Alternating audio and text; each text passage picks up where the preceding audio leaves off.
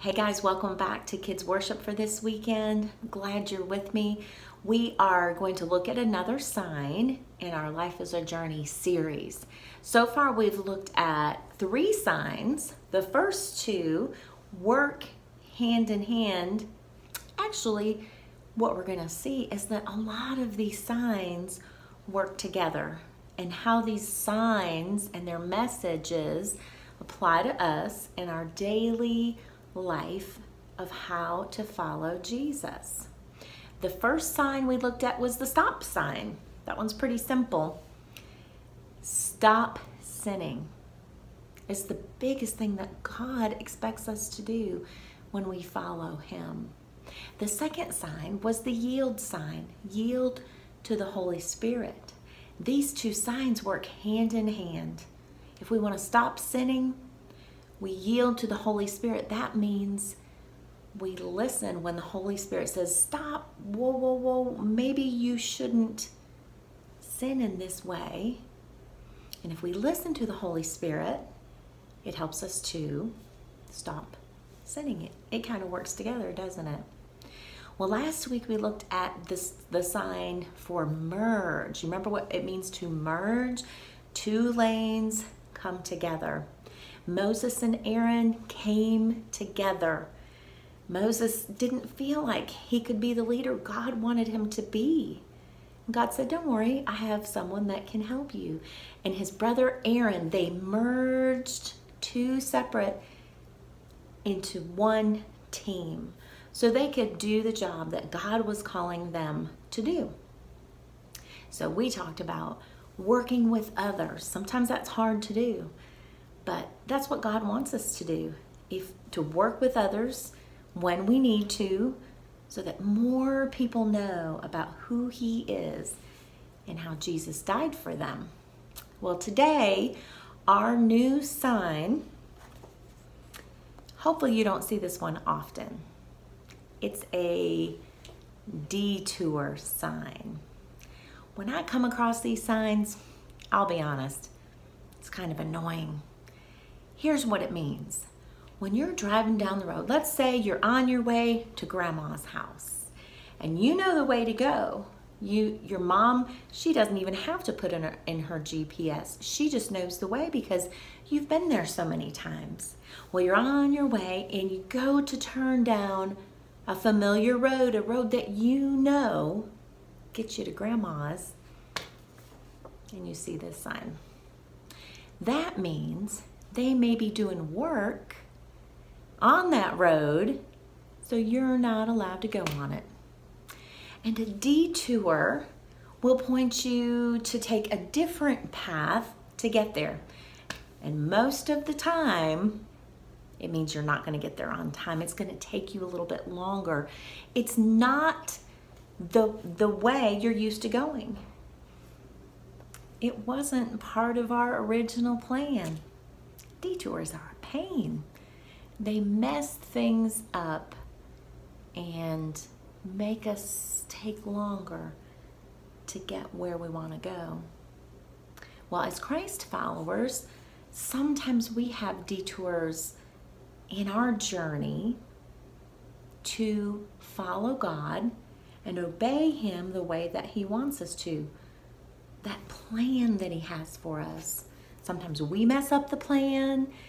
Maybe sometimes people around us mess up the plan with bad choices or we don't obey, we don't yield to the Holy Spirit.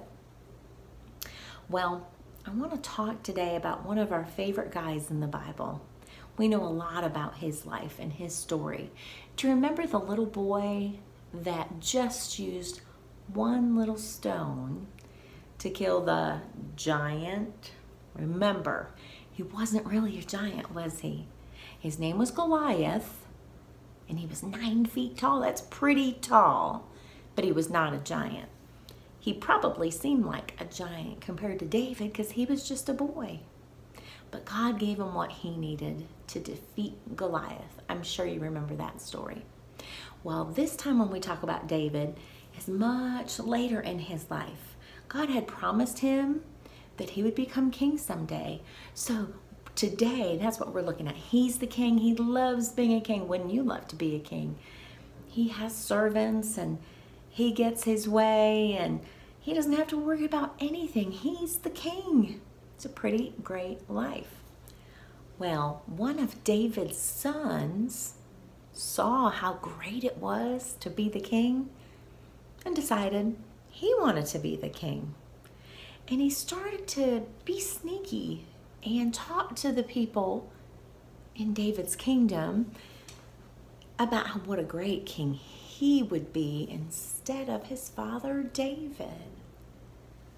Well, this became a detour in David's life. It wasn't how he thought it would be. It wasn't the way he felt God was had planned his life. And he got scared. He actually had to flee. He had to run and hide from his own son. It was kind of a sad detour that his son did not care about him enough. He cared more about being king than his dad. But guess what? This is the cool part of the story. David didn't get discouraged. He didn't stop trusting God. No.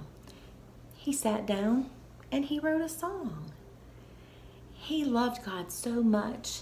He wanted to make sure that God knew he trusted him, he loved him no matter what detour came his way. So, we're going to look at the life of David and three things he did while he went through this detour. Remember, detours are kind of a pain. We don't like them. But David continued to trust God. Psalm 31 14. But I trust in you, Lord. I say, You are my God. The second thing David did when he was in the middle of this awful detour was remember what God has done in the past. David wrote in Psalm 31, verse 21 and 22 Praise the Lord, for he has shown me his unfailing love. He kept me safe when my city was under attack. In sudden fear, I cried out. I have been cut off from the Lord. But you heard my cry for mercy and answered my call for help. That's what God does for us. When we're in the middle of a detour and it seems so hard, we have to remember how He's helped us in the past or how He's helped so many that we learn about in the Bible. He gives us what we need, just like he did Moses by sending Aaron. And he promises he will always do that.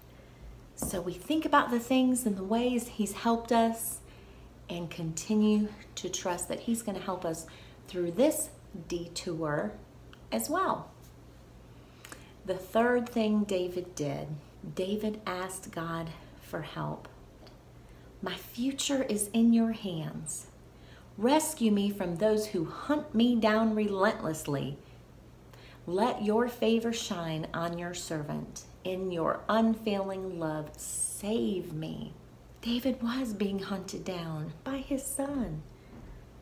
I'm sure that made David very sad. And it had to have been confusing. But he continued to trust God. He remembered the times when God had been faithful when God had helped him in the past. And he continued to ask God for help. Praying is so important when we're discouraged or we get to a detour that just seems like too much. We just don't know what to do. Our God is so much stronger and wiser than us. He is the one we can trust not ourselves or anyone else. We should put all of our trust in Him. Remember John 16 33? It's one we talk about a lot because we know that God never promised us a perfect life or a life without detours or troubles. But what He did promise was that He would be with us. So grab your Bible if you don't have it, and we're going to look at John 16 33. This is plain old John, not 1 John, 2 John, or 3 John. This is John the Gospel. So it's right at the beginning of the New Testament. Matthew, Mark, Luke, John. It's four books in the New Testament. John 16:33 says, I have told you these things so that in me, Jesus is saying this, in me you may have peace. In this world, you will have trouble. Not maybe or we'll see. You will. You will have trouble. But take heart. That means don't worry. I have overcome the world. I love this verse, especially when I'm going through a detour. It reassures me, it encourages me that I'm not alone, that God is going to be there to help me. Maybe you're going through a detour or a hard time right now. Or maybe you're just so frustrated with doing school at home. And you need this encouragement. Take heart. God has overcome the world. He's with us. He's going to give us the strength and the patience. He's given he's going to give us everything we need to get through our hard times. So my challenge to you this week, if you're going through a detour or sad or something's going on and it's just frustrating, to remember David. David had a lot of obstacles, but remember what he did? He chose to praise God. He wrote a song and he trusted God, and we can too. Let's pray. God, thank you for this example we looked at today, I'm sure David was very frustrated and sad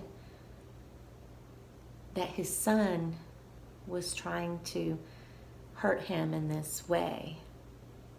But he continued to trust you, God. And I pray that we will think about you this week when we feel discouraged or we may try to figure things out for ourselves. God, help us just to lean on you to understand that you're with us. You love us so much that you're going to help us through any trouble we go through. We know we can trust you, God. Help us to remember that this week. In your name we pray. Amen. Well, I hope you have a terrific week. I want to share something exciting that's coming up on October 31st here at Shady Grove, outside in one of our parking lots, we're gonna have a trunk or treat. We haven't done one of those in a while. So we'll have cars decorated and candy to give out and you get to wear your coolest costume and it will be outside and it will be safe and a fun time together. So I hope you can make it. It will be from 4 to 6 on October 31st. I'll make sure you get the rest of the details. They'll be coming out pretty soon. Well, have a great week. I love you, and I'll see you next time. Bye bye.